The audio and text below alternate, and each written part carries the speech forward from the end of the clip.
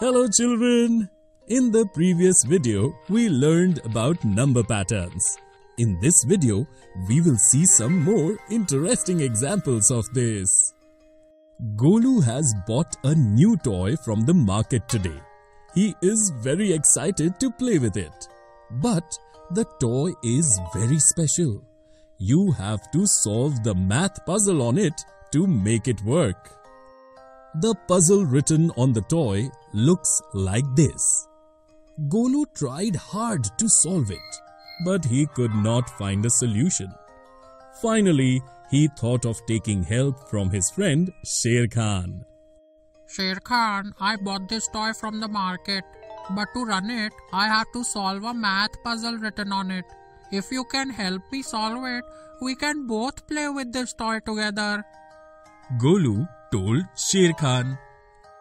Okay, let's try to solve this. There are many numbers written here, and there is only one blank space in the middle. Look, Golu, first we will look at these numbers. There is number 2 written on one end of this line and 100 written on the other end. And on this line, there is number 4 written on one end and 200 written on the other end.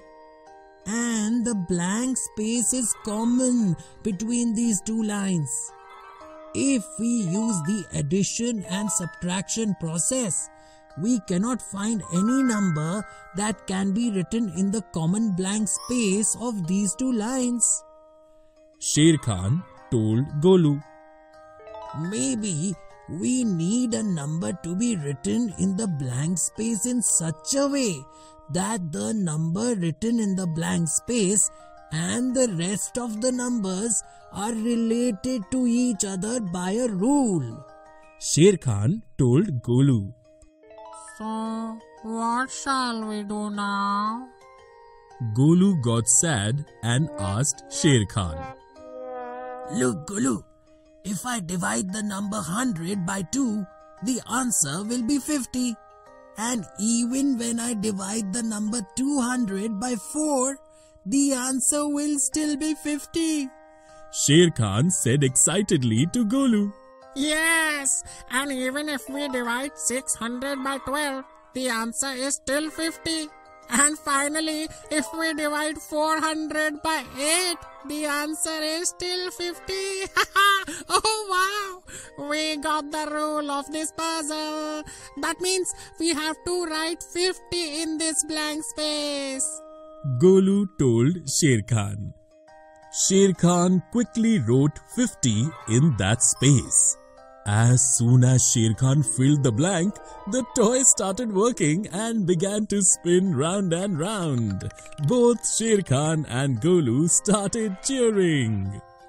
Children, can you fill in the blanks of this toy according to the rules of the puzzle that Golu and Sher Khan solved? If you wish to, you may stop the video and find a solution with your friends. There is a smaller number at one end of each line and a larger number at the other end. To find the smaller number for each line, we have to divide the larger number of that line by 31. And to find the larger number, multiply the smaller number of that line by 31. In this way, we can fill all the blanks. Well done, children. Your answer is absolutely correct. Children, in this video, we saw some more interesting examples of number patterns. In the next video, we will see some more interesting examples of this.